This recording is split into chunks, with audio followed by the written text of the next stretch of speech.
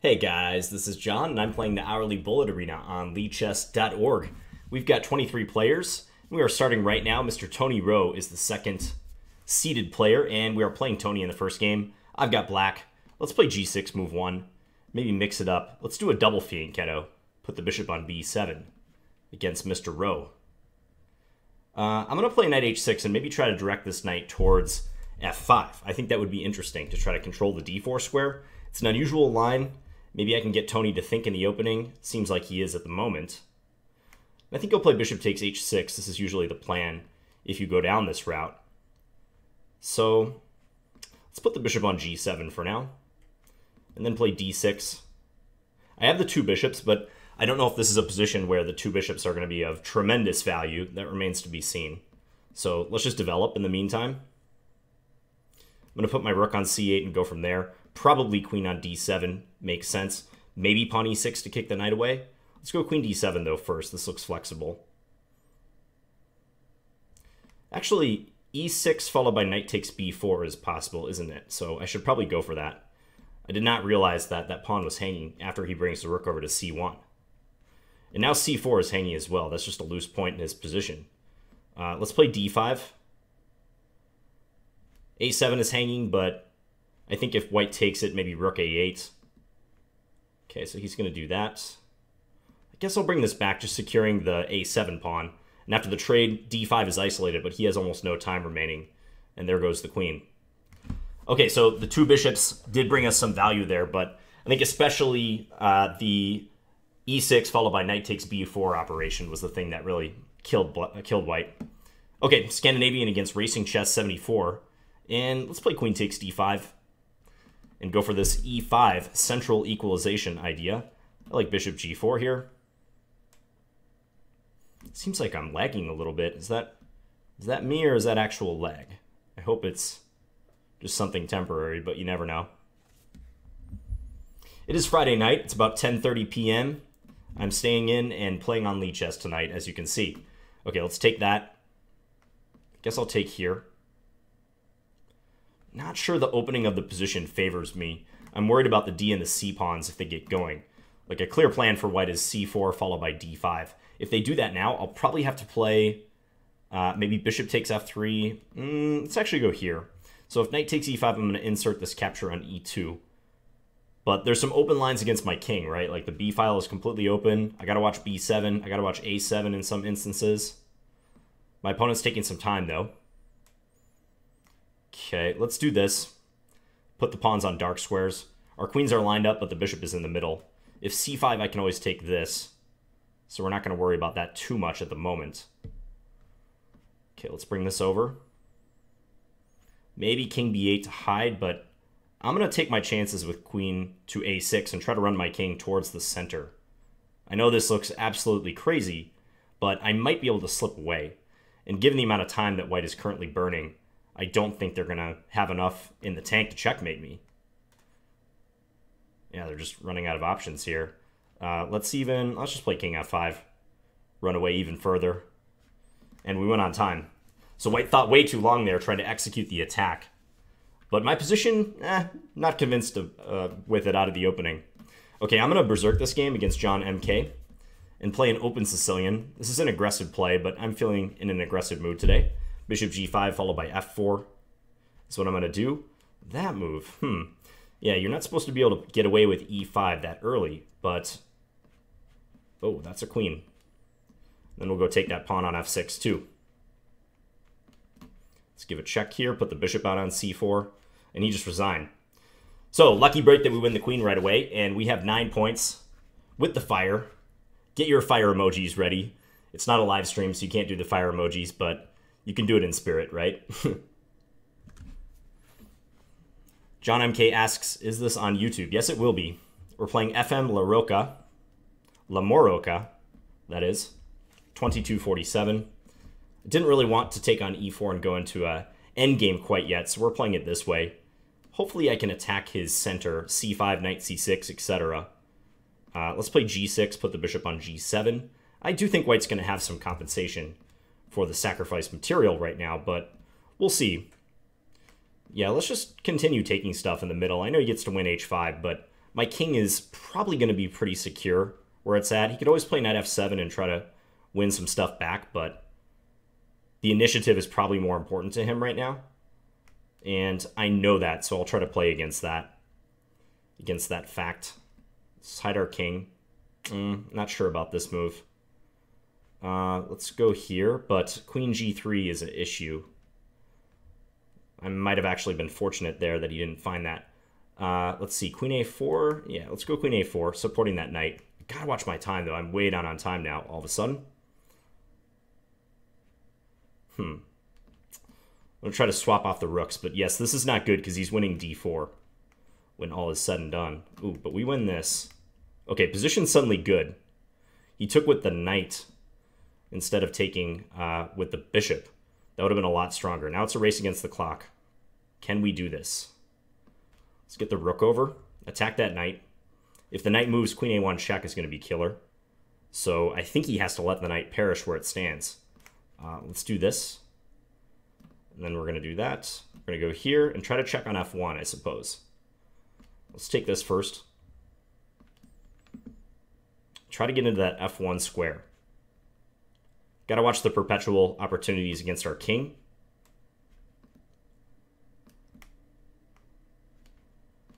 Oh boy, didn't mean to do that. Oh, I got mated right in the middle of the board, queen f4. I walked right into that checkmate. My king was going for a walk on the dark squares. We'll tell him nice one for that one. I saw that right right after I played it too. Okay, Berserking 101. I'm not going to Berserk this game because based on that username, I think he plays fast. So he's going to Berserk it himself. Let's play a check on b5, just a disruptive move. This tends to frustrate the white players, or the black players rather, in this line. Let's go h3. And then we're going to play a4, just stop him from going b5. And black has development issues, basically. Yeah, that was too bad there in that last game because I managed to avoid the major problems at the outset, but I ran into issues later on. Okay, we're up a solid pawn here against our esteemed opponent, Mr. Berserking. He's trying to mate on g2. We're not going to allow that. Let's bring the knight back just to bother him. Go attack that rook too. Still up a good pawn. Let's see if he wants to swap those dark square bishops. Maybe get our queen up here. If that knight moves, I guess I can just win this pawn. We'll go here. Queen f6 is now an idea at all times. Check. Go pick up the knight. We'll just bring this up. And sack away. Okay, we win that game. But we've lost our fire. LaRocca probably still playing. We must assume that he'll win. John H.F., 1840, has won all their games. They're having a good tournament. Anton is in the chat, and he is rooting for Tony, of course. Trifon's Chicken Kebab, 1965. Next opponent. I'm still sticking with e4. Trying to get more practice in with this line. e6, shutting in the light square bishop. I don't think that's a good idea for black. Because that piece is going to have difficulties getting free. He's going to put it on a6, but let's go here. And if he wants to take on c4, I suppose we'll allow that. Ah, you can play b5. b5. Dropping pieces here. Not good so far. Not good at all. Okay, well, we'll try to cause some development issues, maybe. Perhaps with this. If he takes... Okay, at least I get this check in. I can somewhat give him problems. Although now he can just take our knight on d6. That looks smart. And then take that pawn. Yeah, this is what I did not want. Kind of a static position where I'm just worse. Also, I'm losing f1. He didn't take it. Gotta wake up. Gotta wake up, John. This is not good play so far. Take it, or... Let's play a3 first. Kick his queen. Possibly b4 even. Yeah, let's go b4. Because if he takes everything, I can take on c8 at the very end. I somehow feel that's good for me. We'll see what he wants to do here, though. He might push c4. He does. Now, I'd like to play a4 followed by b5, so let's try to do that. Kick that queen around a bit. Uh, yeah, let's do that. I have to watch the mate on g2, though, is the problem. One of the problems here. Let's look for a trade. Guess we'll do this. And then bring the knight back. Uh, he has knight c3, however. It's bad news if he finds it. I might escape with a victory, just because of the time. The time being on my side right now. Let's give a check. We'll watch that second rank, too. Just make sure he can't come in there. He's playing really fast now.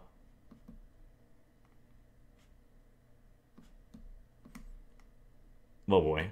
Could have taken our queen right there.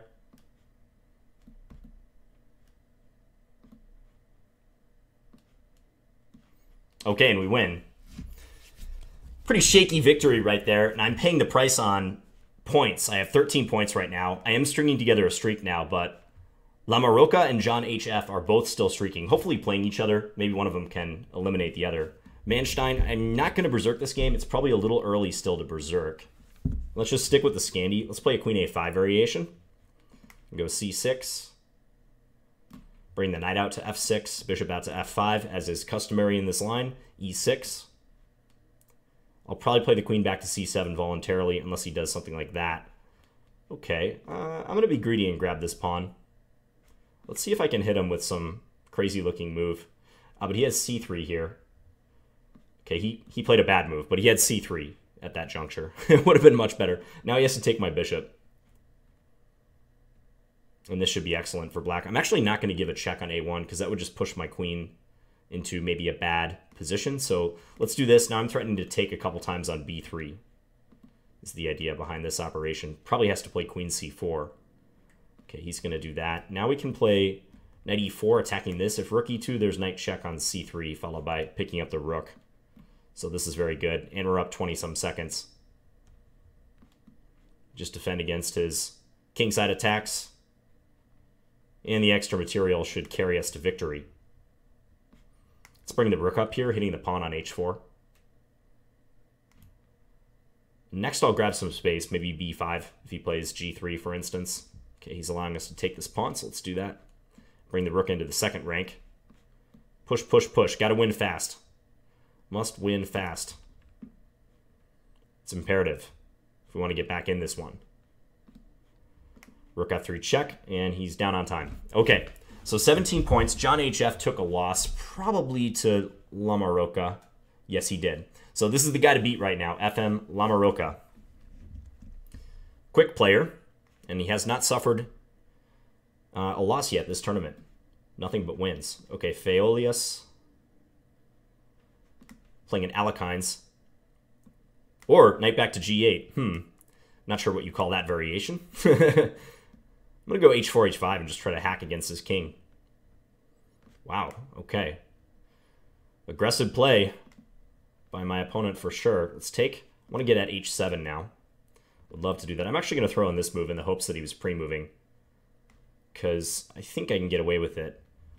Okay, knight takes g5. Now we're on h7 again. And he must take extreme care. I can always castle queenside if I'd like to try to checkmate him. Let's bring this back. Oh, but he has rook f7. Mm. Yeah, I should have anticipated that. Okay, now we can take here. So I didn't lose any material there, fortunately. Let's give a check. See where he blocks or goes with the king. I'm going to do this. Maybe bishop d3 is an idea. He can check on h1, but I think I go to d2 and I should be fine there. His queen is hanging. His rook is hanging. His only move is probably queen h5, but after I take here and then play queen g5, it should just be over. Queen g7 or queen g8 mate, both being threatened. Okay, so 21 points. We got to get some points in a hurry, though. He's 11 points ahead. Might be time to berserk.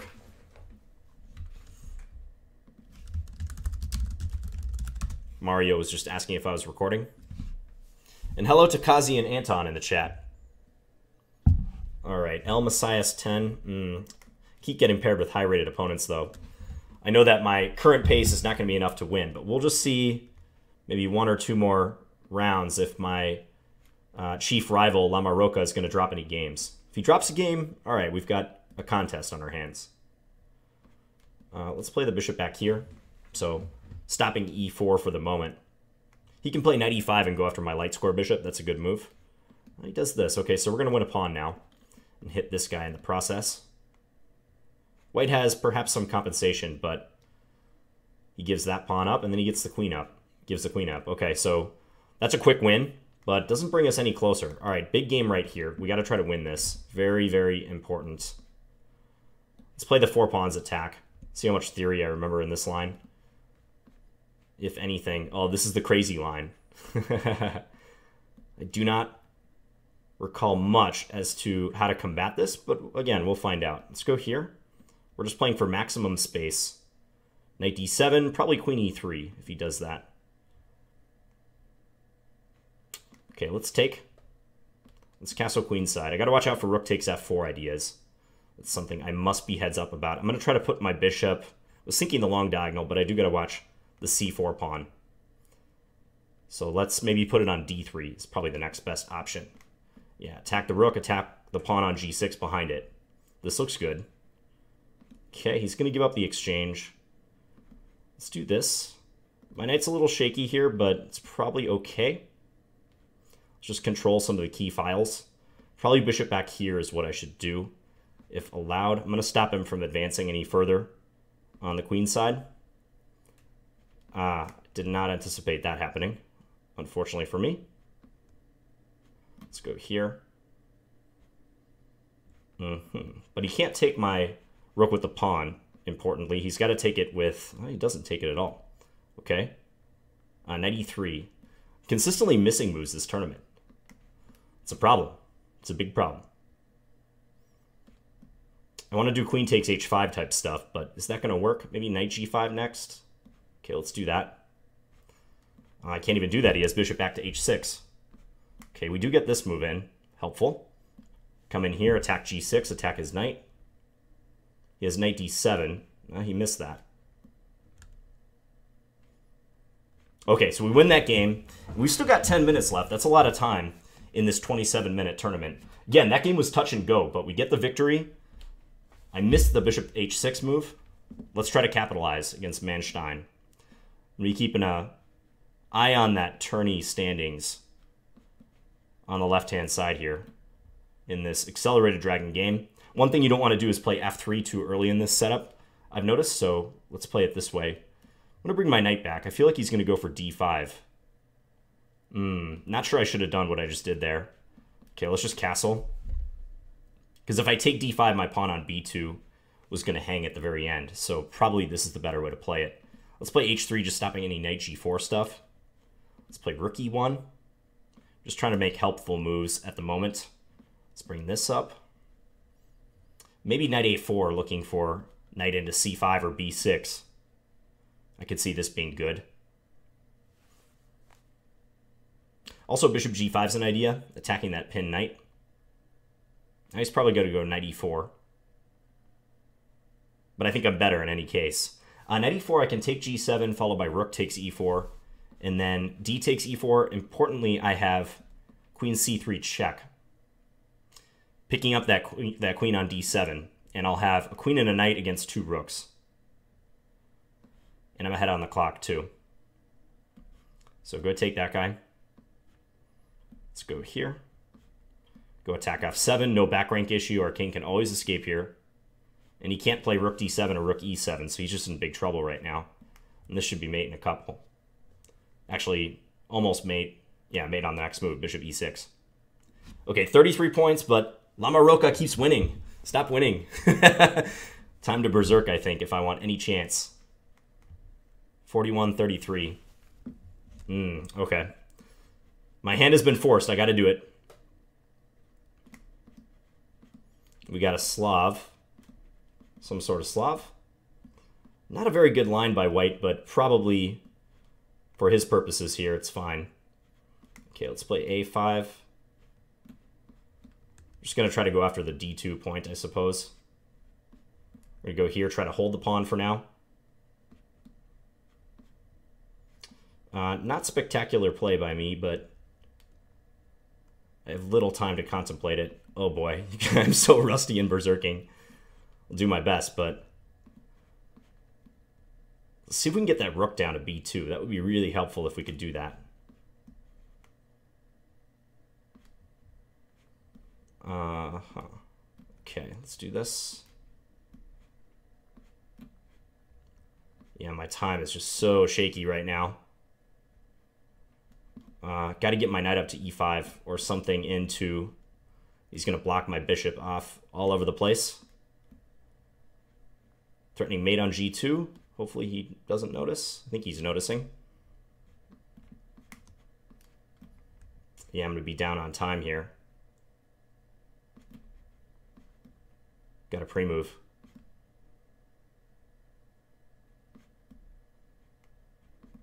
You can just... Well, we got a chance if we pre-move. We'll take...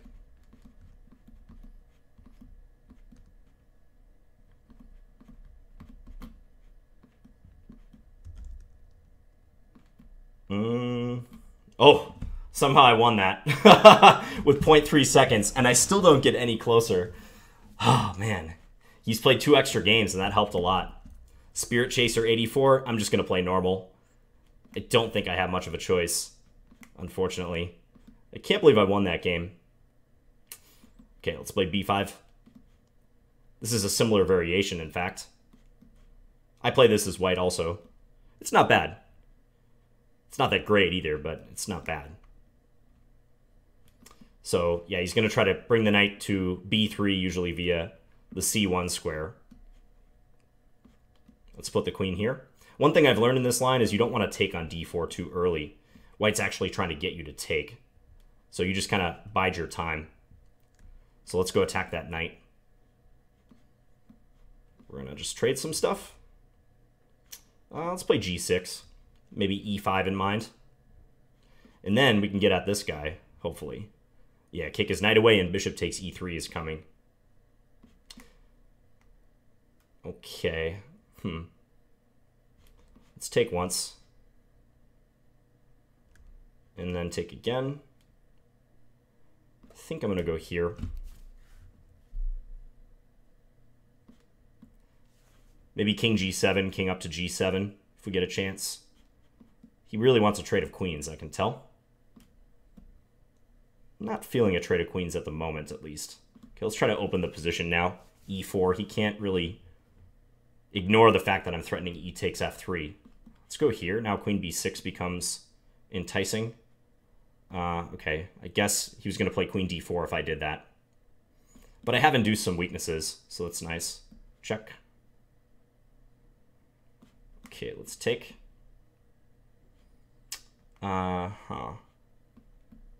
I guess g3, though. I guess I guess I can do this. Not completely sure about this endgame. Our pawns are pretty fast on this wing, though.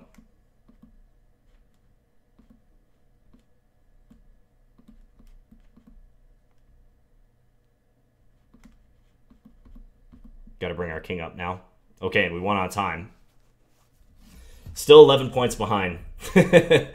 no matter what I do, he just adds on the victories. Good player. Good tourney player for sure. He's taking advantage of his opportunities. Thank you, Akil. I'm glad you appreciated that flag. Okay, John HF is the next opponent. Mm, let's have some fun. Let's play h5 followed by h4. Hack away on the king side, just like we were before. Let's go knight f6. This also stops your opponent from playing too fast in the opening. They got to slow down and try to assess what's going on. Let's play this. If he goes bishop f3, we have g4 is the thing. He's going to castle queenside, and so am I. Let's do this. Ooh, bishop g4, go pick up this. Take. Go knight e4, attack the queen, also attack b2. Let's try to bind the position. g4, cramping him even further. Let's go here. Queen a5. Now he can't move this knight because he would lose the queen on e1 and we can take advantage of that with the push. And now he's really in trouble. Take that. Take that. Now we're threatening check and mate. Mate in two. Okay, so we might get in one or two more games, but those are going to be your final standings, at least the top two. Place number three is still a battle between a few different players, lots of players actually. Yazoo and Erasure, sticking with e4.